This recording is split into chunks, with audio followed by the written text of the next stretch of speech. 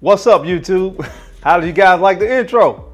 How did you guys like the intro, baby? Woo! nah, I'm kidding, man. I featured the intro on a video on Friday. Uh, if you guys haven't checked that video out, which I think was a, you know, was a nice video as well. Uh, some very, uh, you know, interesting, very interesting subject matter on that, that video. Go check out the video from Friday as well. Uh, but I just wanted to open the video up today with my new intro, man. Shout out to 171 uh, Productions, uh, which is uh, a local uh, production company ran by two African American females. So I know it's Black History Month and the whole nine.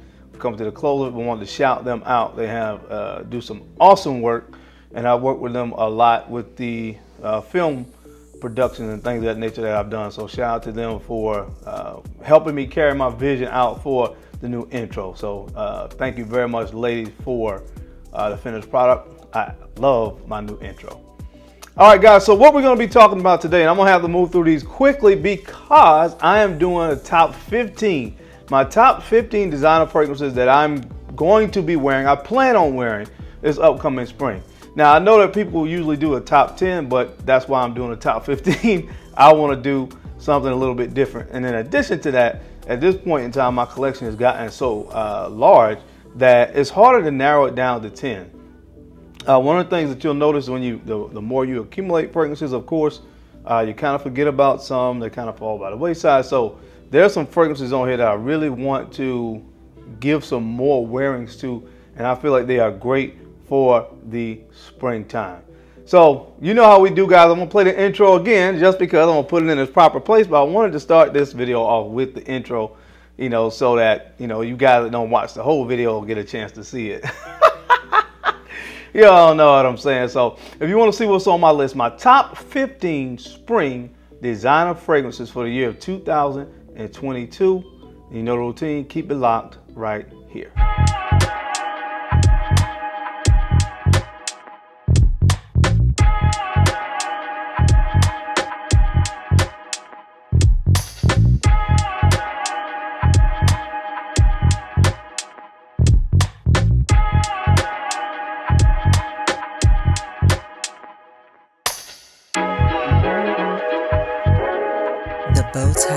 Fragrance Guy.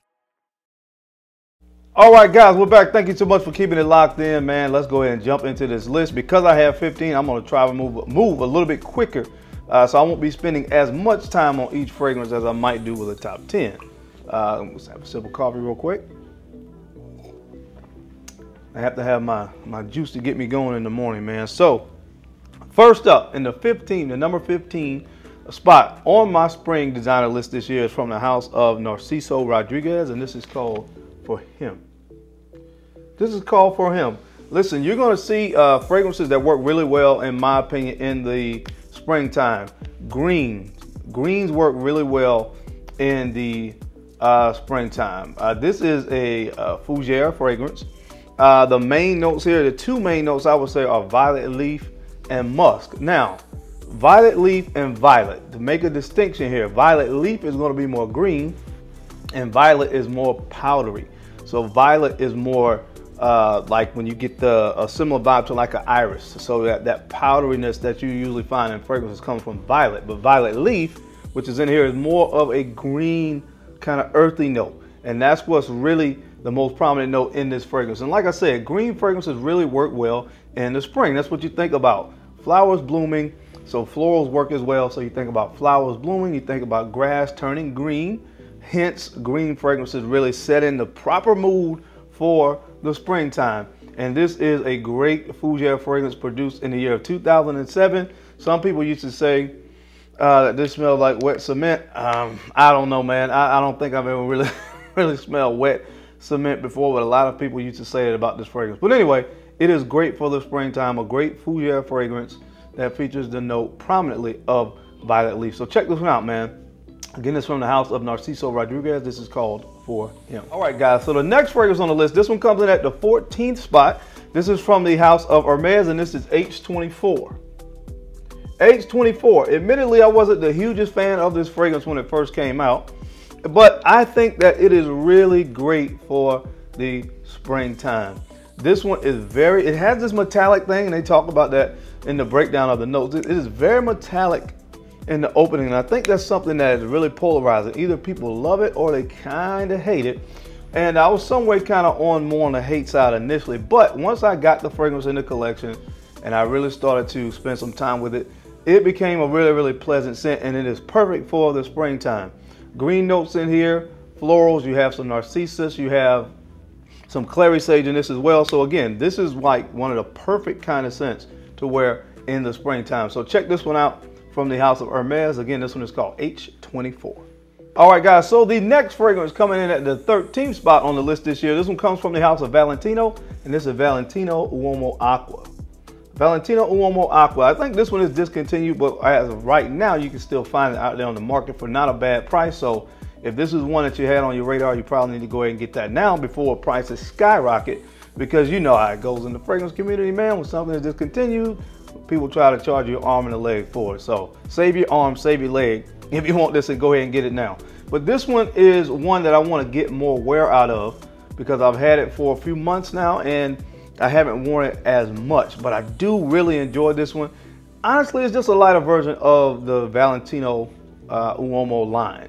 This has a very unique note of tomato, and to me, tomato is more of a, it gives more of a almost, it's fruity, but it is more in like a sweet fruity vibe that you're gonna get from tomato. It's more green. And again, that is the theme of the list oftentimes when you hear people talk about fragrances that are great for the springtime green. You think green, and this is more of a green kind of fruity accord that's uh, created with that tomato accord in this. Very unique, but it's combined with a very succulent, fruity mandarin orange in the opening, so it works really well together. You get the signature iris, so you get that powder, powderiness on the dry down. This is a great one to wear for the spring, so check it out from the House of Valentino. This is Valentino Uomo Acqua. All right, so coming in at the 12th spot this year, this one comes from the house of Giorgio Armani, and this is Acqua di Gio Profondo. Acqua di Gio Profondo. And this to me is a more you're gonna see, hear me say the word green about 100 times on this video. So take a shot every time you hear me say the word green. I'm just kidding. Don't do that because I'm not gonna be responsible for that. So Acqua di Gio Profondo, it is a more green take on the original, otherwise super aquatic and fresh DNA of the original Acqua di Gio. Now, where does that come from? Well, there is a green mandarin uh, in the opening of this, and there's also cypress in the heart.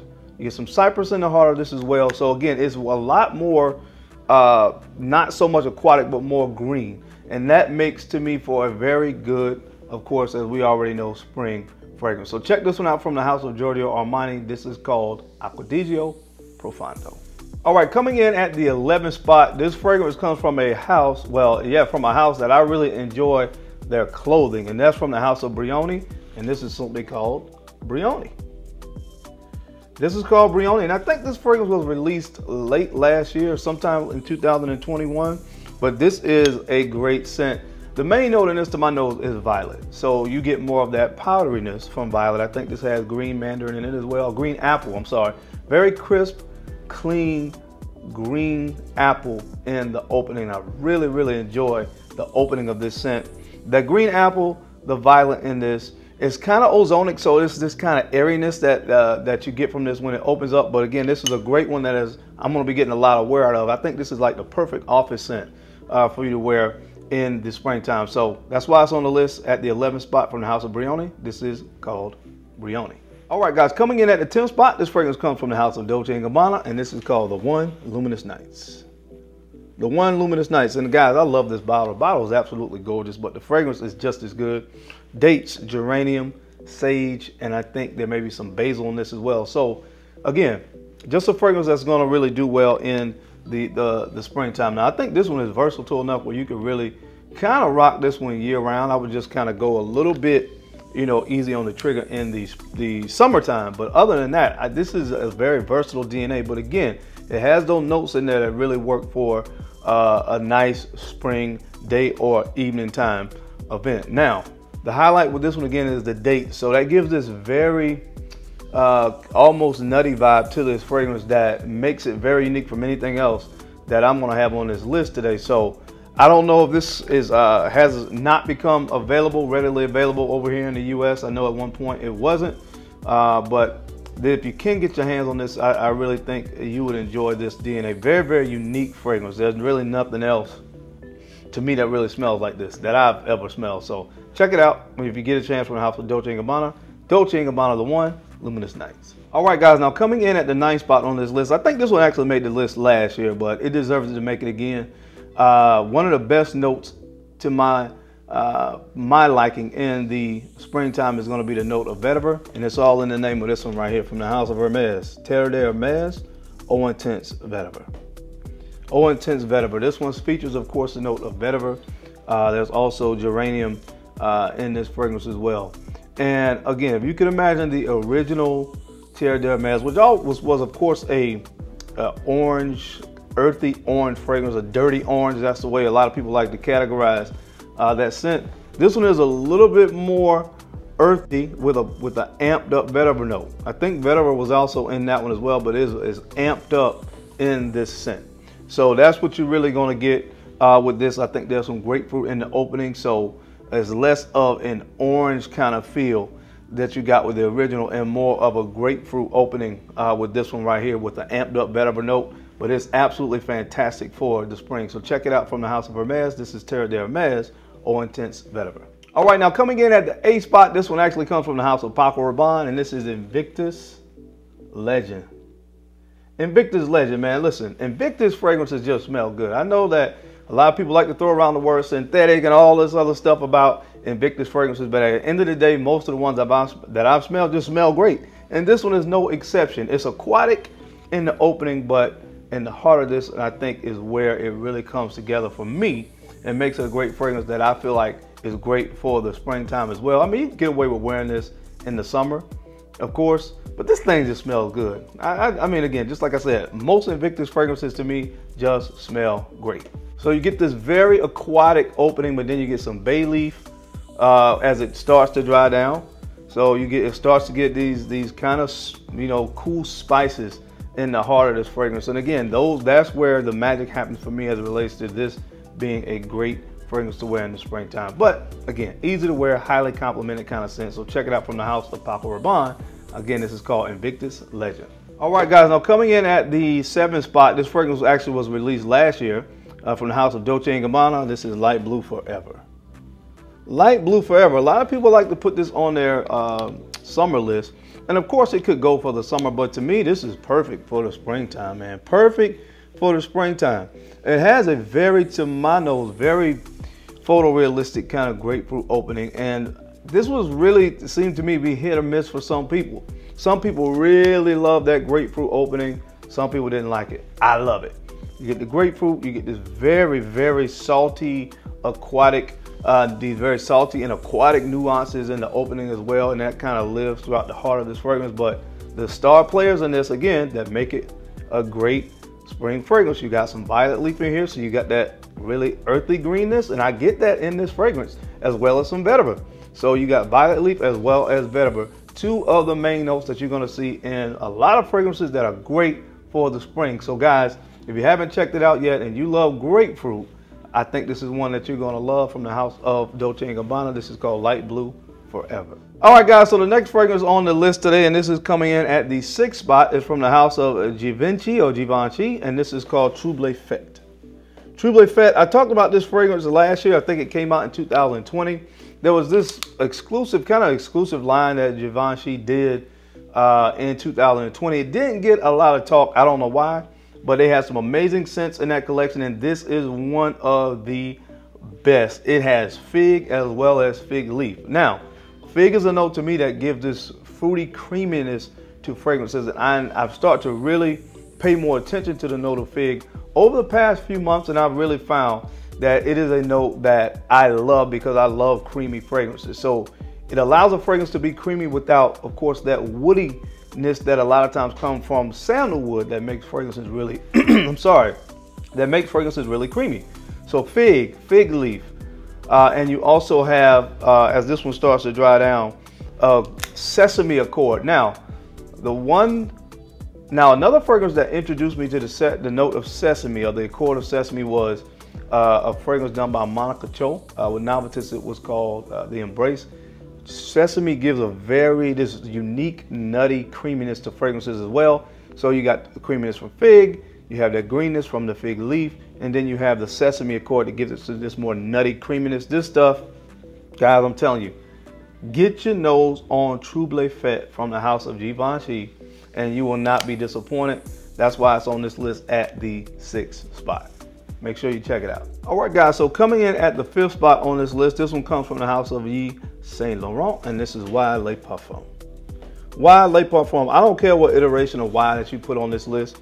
Honestly, I, any of them could work. Uh, any of the iterations of the Y line could work. But I chose this one because this is the latest to be released in the line or lineage of Y. You still have that, that nice uh, fruity, crisp, clean apple uh, with the aldehydes in the opening of this. And that's what I love about this. And the opening is so captivating. But of course, as the fragrance starts to dry down, you have some sage in this as well.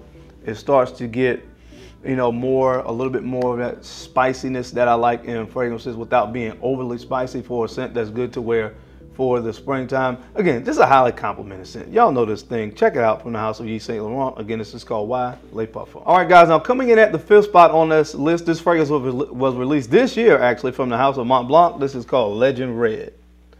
Legend Red, and simply put, man, this thing just smells good. I ain't gonna, I'm just being honest with you. Uh, I know there's gonna be a lot of people that try to bash this fragrance because it's not creative, blah, blah, blah, blah, blah. But at the end of the day, this thing smells amazing, man. You're gonna get a lot of compliments on this one. It's easy to wear, man. Just like, again, most of the fragrances from uh, the Mont Blanc Legend line, all of them smell good. I mean, every single last one of them smell good. Um, is it gonna quench your desire for a, an upscale, creative fragrance? No, but it's going to smell good and get you some compliments. And that's really what this thing is about at the end of the day, man. Smelling good. And this thing smells fantastic. You know, it smells very similar to uh, the original. There's a little bit of the uh, Mont Blanc Legend in this as well. I think they kind of just took those and kind of crumbled them up and put them in one bottle.